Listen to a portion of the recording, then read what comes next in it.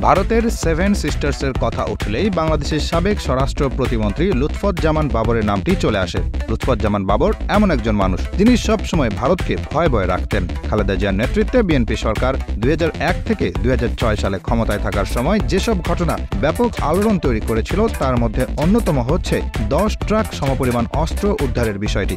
এই অস্ত্র সেভেন সিস্টার্সের বিদ্রোহী গোষ্ঠী আলফাকে পৌঁছে দেওয়ার জন্য আনা হয়েছিল। যার পেছনে লুৎফুজ্জামান বাবর সরাসরি জড়িত ছিলেন বলে মনে করা হয়। ওই অস্ত্রগুলো যদি পৌঁছে দেওয়া যেত, তাহলে সে সময় সেভেন সিস্টার্স তথা ভারতের ওই সাতটি রাজ্যের ভাগ্যে হয়তো অন্য কিছু হতে পারত। বিষয়টি নিয়ে ভারত সবসময় অস্বস্তিতে ছিল এবং বিএনপি সরকারের সাথে তাদের দূরত্ব সৃষ্টি হয়েছিল। এরপরও লুৎফুজ্জামান বাবর কোনো রাগ ঢাক রাখেননি। তিনি ভারতের সাথে কোনো মীমাংসায় যেতে চাননি। সীমান্ত ইস্যুতেও বাবরের কঠোরতা নিয়ে আলোচনা হয়। বিএনপির অনেকে দাবি করেন, বাবরের সময়ে বাংলাদেশ ভারত সীমান্তে বাংলাদেশের নাগরিকদের নিরাপত্তা ছিল। তখন বিএসএফ এতটা আক্রমণাত্মক ছিল না। র্যাব প্রতিষ্ঠাতেও বাবরের ভূমিকা ছিল। দুই হাজার এক সালে বিএনপি সরকার ক্ষমতায় আসলে লুৎফুজ্জামান বাবরকে স্বরাষ্ট্র মন্ত্রণালয়ের প্রতিমন্ত্রী করা হয়। তখন এই মন্ত্রণালয়ের পূর্ণ মন্ত্রী ছিলেন বিমান বাহিনীর সাবেক প্রধান air vice marshal Altaf Hossain Chowdhury. কিন্তু ক্ষমতা প্রয়োগের মানদণ্ডে বাবর ছাপিয়ে যান মন্ত্রণালয়ের পূর্ণমন্ত্রীকে একটা সময় স্বরাষ্ট্রমন্ত্রী আলতাফ হোসেন চৌধুরীকে বাণিজ্য মন্ত্রণালয়ে পাঠানো হয়। কিন্তু স্বরাষ্ট্র মন্ত্রণালয়ে আর কোনো পূর্ণাঙ্গ মন্ত্রী নিয়োগ দেয়নি সরকার। ফলে বাবর অনেকটা একচ্ছত্র ক্ষমতার অধিপতি হয়ে যান।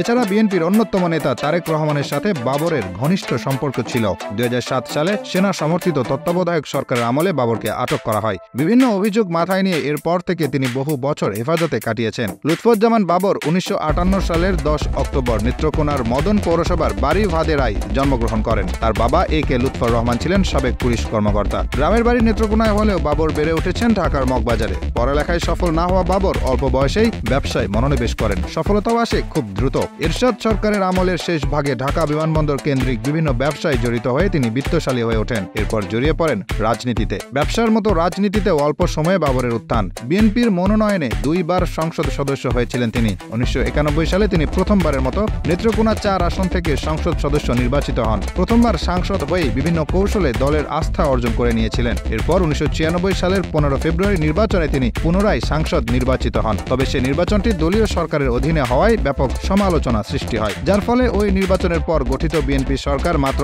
এগারো দিনের মাথায় পদত্যাগ করে। এরপর সে বছর আরেকটি নির্বাচন হয়। বাবর সেখানে অংশ নিলেও পরাজিত হন। পরবর্তীতে দুই হাজার এক সালে নির্বাচনে বিএনপি এবং বাবরের পুনরুত্থান ঘটে। সেবার বিএনপি জামায়াত জোট সরকারের বাবরকে যখন স্বরাষ্ট্র প্রতিমন্ত্রীর দায়িত্ব দেওয়া হয়, তখন তার বয়স ছিল তেতাল্লিশ বছর। এ নিয়োগ অনেককে বিস্মিত করেছিল। কেননা জাতীয় রাজনীতিতে তখনও তিনি নিতান্তই অপরিচিত মুখ। নেত্রকোনা চার আসন থেকে নির্বাচিত একজন সংসদ সদস্যের বাইরে তার তেমন কোনো পরিচিতি ছিল না, তবে বাবর এর প্রতিদান দিয়েছিলেন। তারেক রহমানের সাথে থেকে বিএনপির বিভিন্ন কাজে যুক্ত থাকতেন। প্রধানমন্ত্রী খালেদা জিয়াও তাকে নিজের ছেলের মতো দেখত। প্রধান নেতাদের আশ্রয়ে তিনি এতটা ক্ষমতাধর হয়ে ওঠেন। বাংলাদেশের রাজনীতিতে লুৎফজ্জামান বাবর এখন অপরিহার্য কোনো নাম নন, তবে এত বছর পরও তিনি নিজের কাজের জন্যই আলোচিত।